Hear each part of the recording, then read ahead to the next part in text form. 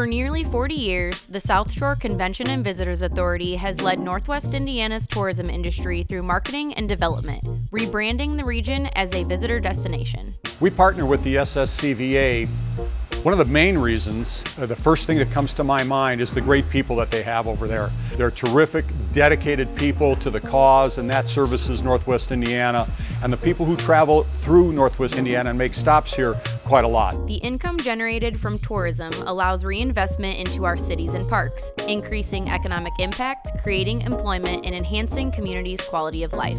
We've used tourism as our, basically our, our big box, right? It's uh, using our sports fields to draw people to not only for Crown Point, but the region in general. The disposable income that comes from the tourism side uh, puts less burden on our stakeholders who live here and have businesses here. One of the things that we did when we opened our businesses, we wanted to immerse ourselves in the business community and not just be a business that did business in the community, but we wanted to become a part of that community and the SSCVA has been a great resource for us to do that. The designation of the Indiana Dunes as a national park, the development of new attractions, and the region's unique festivals and events draw in millions of visitors spending tourism dollars. Tourism brings in a lot of revenue for our hotels, uh, multiple night stays on weekends, which is what we need mostly from CVA, and then hopefully they'll come back for personal reasons over and over again to the region, even if it is to visit Chicagoland The Mascot Hall of Fame opened in Whiting in 2018,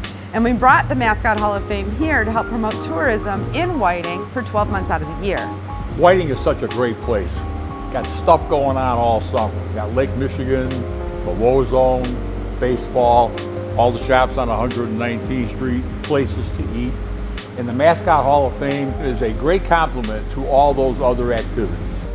The South Shore CVA is the liaison between visitors and all of our local treasures. Through our membership program with businesses throughout Northwest Indiana, the South Shore CVA is a trusted resource and marketing partner helping to amplify their messages. I decided our restaurants should partner with the South Shore CVA after attending their partner summit in December and hearing about all of the benefits that they offer their partners.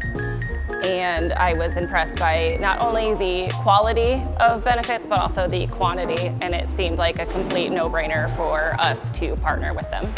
Our website is the region's number one source for visitor information. Through the site, integrated marketing initiatives, and expansive social media presence, we help increase visitation, revenue, and hotel occupancy. We have over 56,000 people in our database right now, and we've shipped to 42 different states, including Alaska and Hawaii many times. And the only way that's possible is by people traveling, coming through the South Shore. They might not be searching specifically for, for breweries in Northwest Indiana. If they do that, Byway Brewing is going to come up.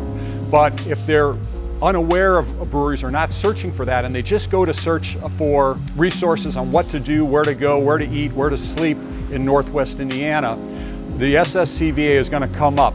And when it does, all those people that are looking for hotel rooms or places to eat, they're going to be made aware of Byway Brewing and the services and products that we have to offer. The South Shore CVA has the ability to track multiple data points like spending and GPS location to better understand visitor habits. With this information, we can tailor our marketing efforts and direct customers to our partners.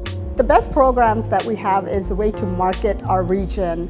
All of the hotels, all of the restaurants, the casinos, the Indiana Dunes, just everything in the region gets marketed on a different level than just the brand levels that we are able to do. We can see how long visitors are staying in the region, which can help us create itineraries for various trip lengths. We look at where people are coming from to tailor our marketing efforts to specific areas. We can then monitor our advertising and continuously adapt the messaging. We can view the visitors' top points of interest, including downtowns, attractions, beaches, events, and sporting facilities. We can even focus on specific dates to see how our sporting events impact our region. Sports is one of the fastest growing sectors in tourism. Sports in general has really opened up the opportunity for us to have a place for our kids to play Monday through Thursday, converted to a tourism application Friday, Saturday, and Sunday, helps supports our local commerce, uh, brings in additional tax revenue. And when you start to be able to be more diverse in your dollars, you're able to invest in other things that are important in your community. The South Shore is a premier destination for youth, amateur, and collegiate sporting events. The South Shore CVA has helped us make connections with several tournament directors. In doing so, we've made connections with over 400 teams that they've helped us bring into the Sportsplex. In 2022, the South Shore will host more than 70 events, bringing 50,000 participants and their families, generating more than 20,000 room nights. Yeah, the local businesses are really a real pleasure to work with. They've really come to the table in, in providing discounts and specials for our participants. Uh, so when they're not playing volleyball, they have lots of entertainment options um, for the rest of the weekend. And being close to the Dunes National Park is also fantastic for people to go and, and check that out as well.